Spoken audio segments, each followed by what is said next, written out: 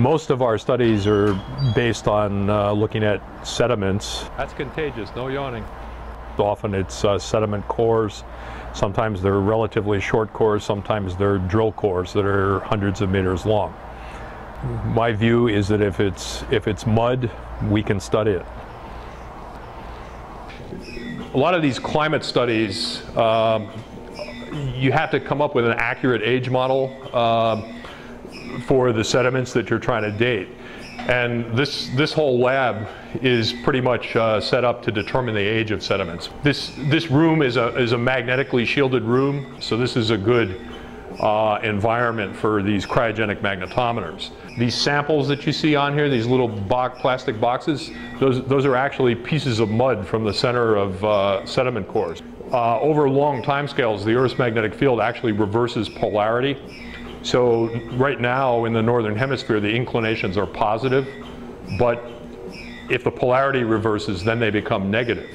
Scientists over the last 50 years have put together a thing called the polarity timescale, where uh, back hundreds of millions of years, we know how these polarities have changed and at what ages they've changed.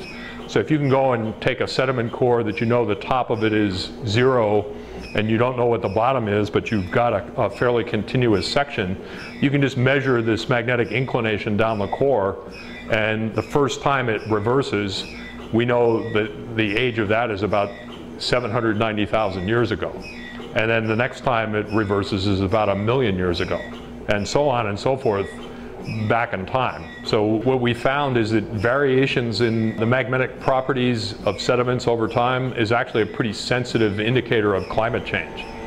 One of the major things that we discovered is, is that uh, in the early part of the Holocene, uh, sort of 7,000 to 8,000 years ago, there was a, um, a drier interval in the Great Lakes where all the Great Lakes went down uh, you know, tens of meters and became closed basins. So there was no flow between the lakes and no flow out to St. Lawrence. People always thought that the Great Lakes had a positive water balance, that there was they were always overflowing into the ocean during the Holocene. So this showed that if the climate changes to drier conditions, the Great Lakes are pretty sensitive to that and they can go well down below where they've historically uh, been there, there, there really isn't any debate anymore that global warming is real and we did it.